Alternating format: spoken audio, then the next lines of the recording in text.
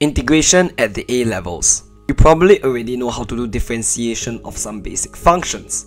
You also probably know that integration is simply the reverse of differentiation. If we want to differentiate the function x cubed, we need to bring the 3 down and reduce the power by 1 to obtain 3x squared. Likewise, when we integrate 3x squared, we'll obtain x cubed. Dividing by 3 on both equations, we have the integral of x squared equals to x cubed over 3. And strictly speaking, this is also true when we add any arbitrary constant c. This is known as the arbitrary constant of integration. So we want to answer two questions. How to integrate and why should we integrate? Perhaps it makes more sense to wonder why we should integrate first. There are applications in geometry and in science, and the first geometric application is in calculating areas under curves. When considering the function y equals to f of x, we might be interested in calculating the area under the curve. If we nudge the right hand line a little bit to the right, we'll obtain the red increment in area, which is approximately equal to a rectangle with base delta x and height f of x. As we let this increment get smaller and smaller, we're going to approximate the function value f of x.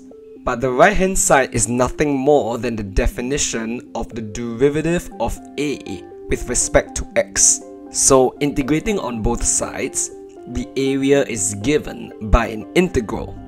If we denote the left and right hand limits by a and b respectively, the area is strictly speaking the integral from a to b, which we can calculate by integrating f and plugging in these end limits. In this example, we are using the function y equals to x squared and the area we're calculating is from 0 to 1. We've integrated x squared to get x cubed over 3 just now. We can plug in the limits and obtain an area of 1 over 3. We can even use this idea to calculate several infinite series. Before taking n to infinity, we can rewrite this expression as 1 over n times a sum. This can be rewritten into a sum of base times height, where the base refers to the base of one rectangle and the height refers to the height of that corresponding rectangle. In other words, the quantity that we were interested in is a sum of areas of rectangles. But as we increase the number of rectangles, the sum of the area of the rectangles approaches the area under the curve. But we know how to find the area under the curve of y equals to x squared. It's the integral from 0 to 1. And we've calculated this to be equal to 1 over 3 just now. Using this idea, can you find the limit of this particular sum? You might find this diagram and these rectangles helpful. Another interesting quantity is the volume of revolution, where we can take a bunch of cylinders and make them finer and finer and finer so that the result looks like a solid that is obtained by revolving the curve. What is the volume of this final object? Well, since each cylinder has radius y and height delta x, letting n go to infinity, the sum becomes an integral and the delta x becomes a dx. Finally, to be precise, we integrate from a to b to obtain the volume of revolution. In the animation, we are integrating from 0 to 1 and we're using the same function y equals to x squared. Using algebra to simplify, we integrate x to the 4th to get x to the 5th over 5. We plug in the limits and obtain a volume of 1 over 5 pi. Similarly, can you find the volume of revolution of y equals to x times e to the negative x over 2? A crucial scientific application of integration is in the study of kinematics. The rate of change of displacement is the velocity, and the rate of change of the velocity is acceleration. Integrating on both sides, the displacement is the integral of the velocity, and the velocity is the integral of the acceleration. Furthermore, if acceleration is a constant, then we're going to get the constant v naught plus a times t. We can plug that into the displacement equation and integrate that to obtain the constant s naught plus v naught times t plus half at squared, which is obtained by integrating t. These give rise to the famous kinematics equations in physics. But a similar equation in kinematics arises when considering the motion of falling objects. We want to try to find the velocity v. To do this, we can divide out the v terms onto one side, integrate with respect to t. On the left side, we get an integral with respect to v, and on the right side, we get an integral with respect to t. Will you be able to calculate v? More generally, we can separate out the y's from the x's and integrate both sides separately. This is known as the method of separable variables. And using this same technique, we can obtain the formula that governs first order rates of reactions. These are the problems that we can solve using integration. But how do we actually go about using integration to make these calculations? If one of the key formulae in differentiation is the chain rule, which helps us differentiate the composite function one layer at a time, then one of the most important tasks is to reverse the chain rule. We integrate on both sides, and the left side is the composite function, while the right side is a rather complicated integral. This is actually the most important formula in integration, and we can best understand it through several examples we have previously learned that the integral of 1 over x is the logarithm. So if we now modify the left-hand integral by the reverse chain rule, the right side is going to be a logarithm as well. But this time we include the f of x inside. We previously actually asked how to find v given this equation. The right hand side is easy enough to integrate, it is just t plus a constant on the left side, we're gonna do a little bit of algebra because the numerator is the derivative of the denominator. Integrating that will give us the logarithm. Simplifying with a little bit of algebra, we can obtain the expression for v.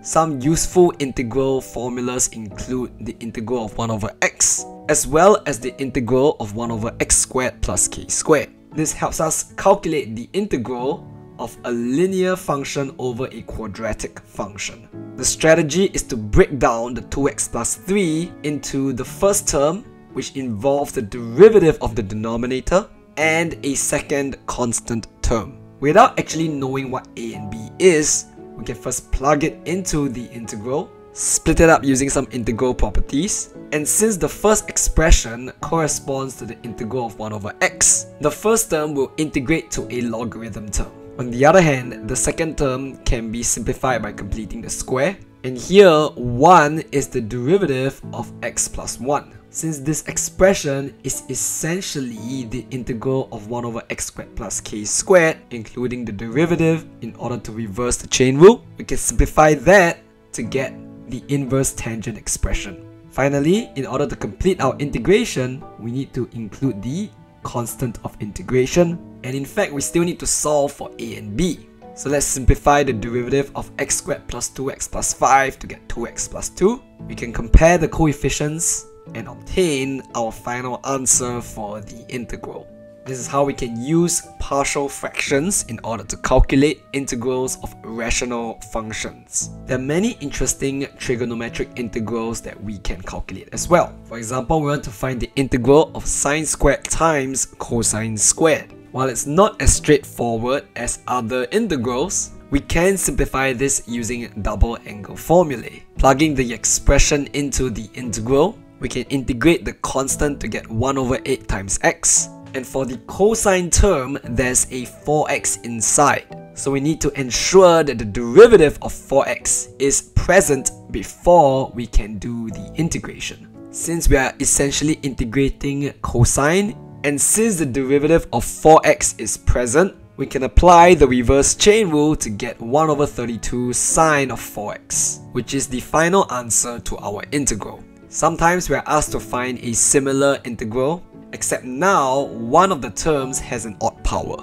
We can extract out the extra sine term, convert the remaining sine terms into cosine terms, and simplify. We can plug this expression now into the integral, split up the integral, and rewrite each term as follows. Now we have cosine and the derivative of cosine which is negative of sine. In both cases, we are integrating a power with the derivative of cosine present for reverse chain rule and we can easily integrate both expressions to get our final answer. But sometimes we need to integrate sine times cosine where the expression inside each trigonometric function is different. The trick is to consider the addition formulae for trigonometric functions. We can divide by 2 on both sides. We can solve for p and q to be 8x and 2x respectively. And since the right hand side is sine of 5x times cosine of 3x, we can plug the left hand side into the integral. Just like before, we need to include the derivatives in order to apply the reverse chain rule. And since the integral of sine is negative of cosine, it's not too difficult to do the integration. Thus, we get a combination of cosine terms as our final answer. Earlier on, I raised the question of how to calculate this infinite sum. As we've seen, is the limit of a bunch of rectangles, which gives us the area under the curve from 0 to 1. But since the derivative of negative of x squared is negative of 2x, we need to do a bit of manipulation to extract out the derivative of negative of x squared. With the derivative present, we are now integrating the exponential. The integral of the exponential is just the exponential. Plugging in the limits, we can simplify our answer to get this final expression for the limit of the sum. If we know how to reverse the chain rule, can we try to reverse the product rule? We can start with the basic product rule in differentiation, integrate on both sides. On the left side, the integral and the derivative cancels out. On the right side, we can split up the integral and isolate the integral of v prime u. This is the famous integration by parts formula and notice two things that happen. Firstly, the v prime gets integrated into v. Secondly, the u will remain the same and get differentiated. For that reason, we can abbreviate this using the acronym ISID, which tells us one function gets integrated while another function gets differentiated. So let's try to find the integral of x times e to the x. Let's suppose we integrate x and differentiate e to the x. Let's write out the ISID and integrate x to get x squared over 2. We can copy and paste the e to the x and differentiating e to the x, we actually just get e to the x. This actually makes our problem a lot worse than it should be, so let's not take this approach. Instead, let's integrate e to the x and differentiate x. Writing ISID, we integrate e to the x to get e to the x. We can copy and paste the x and differentiate the x to get 1. Simplifying, the integral of the exponential is just e to the x. We can plus c and that is our final answer. Why does this work you might ask? we chose the functions according to a heuristic known as LIATE. The function that's more rightward gets integrated, while the other function gets differentiated. In this case, the rightmost function is e to the x, which gets integrated, and the other expression is an algebraic expression and gets differentiated. Putting this idea into practice, we can find the integral of x times cosine of x. Write down the ISID once again, and between cosine and x, cosine is more rightward. Therefore, cosine gets integrated into sine of x. This leaves us with x remaining the same and getting differentiated to 1. Simplifying, the integral of sine is just negative of cosine. Simplifying, we get our final answer. We can even use this trick to obtain the integral of the logarithm of x. It might not be obvious what the two functions are, but a useful trick is to note that log equals to 1 times the log. Interpreting 1 as x to the 0, 1 is the more rightward function that gets integrated to x, while the logarithm remains the same and gets differentiated to 1 over x. Simplifying, the integral of 1 is just x, adding the arbitrary constant and that is our final answer we can repeat this idea for the inverse tangent of x. We write the inverse tangent as 1 times the inverse tangent, and since 1 is more rightmost, we will integrate that into x. we'll keep the tangent inverse and differentiate it to get 1 over 1 plus x squared. We'll manipulate the second term to make sure that the numerator is the derivative of the denominator. Integrating that gives us the logarithm of 1 plus x squared. That is our final integral. Sometimes we need to do integration by parts multiple times. Consider the integral of the exponential times the cosine. Since the exponential is rightmost, we'll integrate that to get e to the x, keeping the cosine and differentiate it to get negative of sine. Simplifying, we get the integral of the exponential times sine. So once again, we'll choose the exponential to get integrated into the exponential. Sine remains the same and gets differentiated into cosine of x. Simplifying, it seems like we got the same expression as before. So let's just replace that with i and do a bit of algebra to obtain our final answer.